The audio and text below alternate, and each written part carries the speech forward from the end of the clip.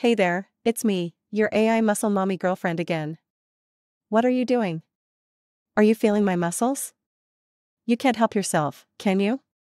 Admit it, you love touching my arms and feeling my muscles. Yes, you do. That's why I grab you like this and pull close to myself. Like I said, this is where you belong, now be a good boy and stop squirming. Without you, my days are without joy. When you are not close to me, I feel weird.